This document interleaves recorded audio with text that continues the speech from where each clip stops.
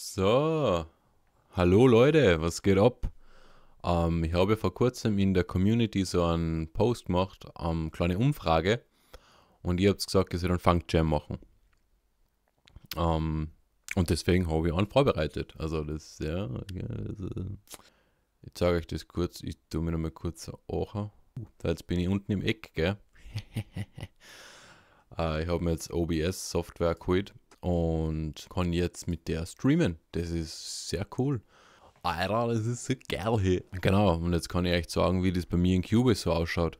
Und da habe ich eben vor, ja, ein paar Tagen einen Funk Jam geschrieben.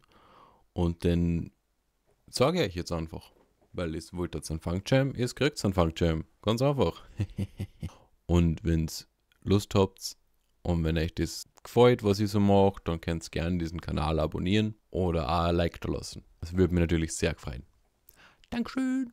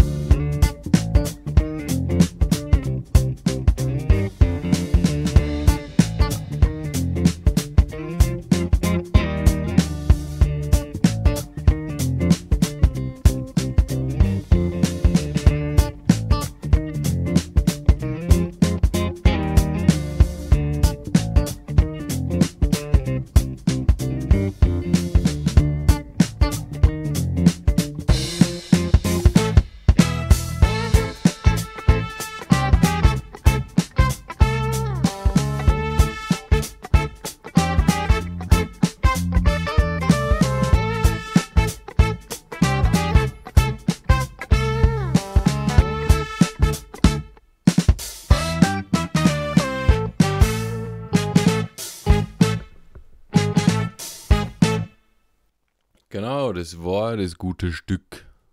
Das war der ganze Zauber.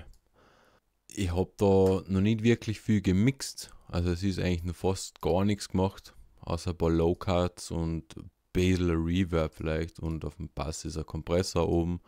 Aber sonst ist eigentlich fast gar nichts gemacht. Also bei die, ja, die Drums sind sowieso alle schon vorgemixt. Das ist ja Easy Drummer von Toontrack. Ähm, finde ich ziemlich cool zum Demos machen, zum Produzieren. Ist ein sehr cooler Workflow. Per Drag and Drop kann man sich einfach irgendwelche Grooves,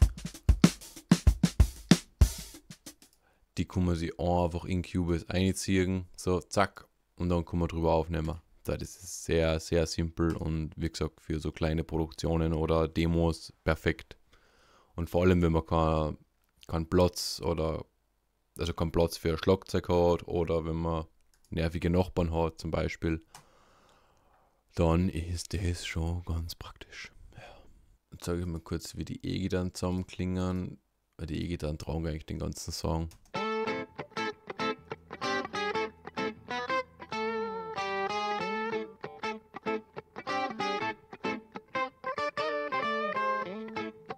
So, und beim B-Teil finde ich klingen sie auch ziemlich cool.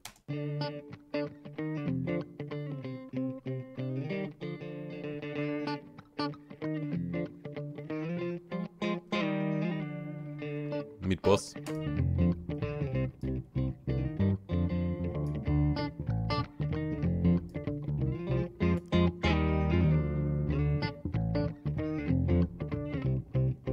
An Boss hätte man vielleicht ein bisschen mehr slappen können, damit er ein bisschen mehr knackt und ein bisschen funkiger ist, aber macht ja nichts. Ist ja so auch ganz cool.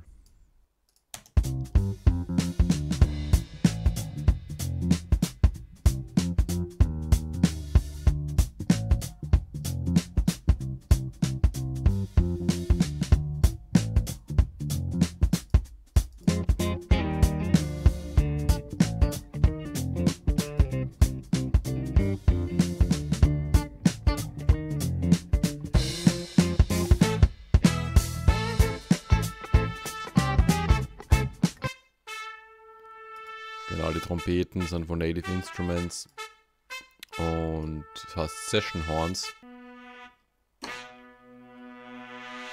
Eigentlich ziemlich cool.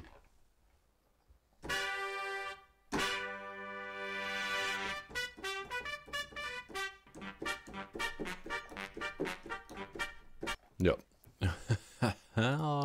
so viel zum Thema Bläser. Genau, dann würde ich sagen, wir sehen uns beim nächsten Mal wieder. Tschüss. Peace out und so. Genau.